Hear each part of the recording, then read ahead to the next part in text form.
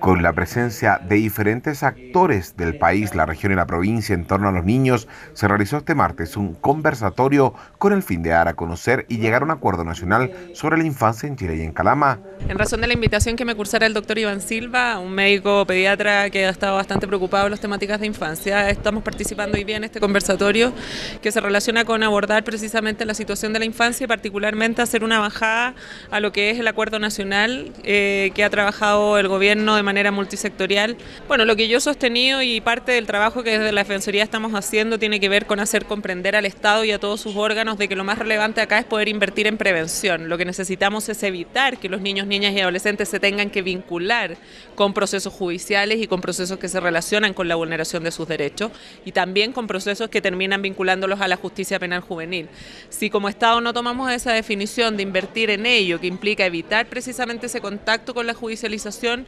ciertamente no estamos haciendo el trabajo bien y la idea es que por tanto la, la menor cantidad de niños lleguen a estas instancias judiciales, pero que cuando lleguen a esas instancias también sean tratados y atendidos respeta, respetando sus derechos y garantías. Una instancia que contó con el apoyo público y de diferentes profesionales de la salud.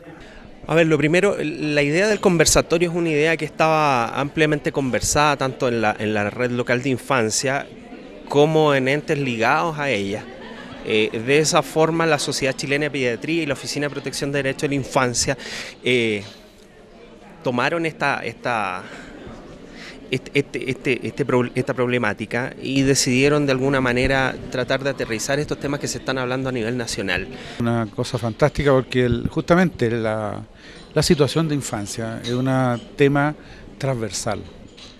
supera las cosas, los pensamientos políticos, ideológicos, supera los estancos, digamos, que a veces tienen cada institución, qué sé yo, educación, salud, justicia, medio ambiente. El niño está llamado a ser el, eh, como el integrador de todos estos elementos, o sea, porque justamente los objetivos en cada uno de sus ámbitos debieran ir dirigidos a hacer que la pase bien en el planeta. La iniciativa buscó que diferentes profesionales del área social puedan conocer la visión nacional frente a la temática de la niñez especialmente en el país.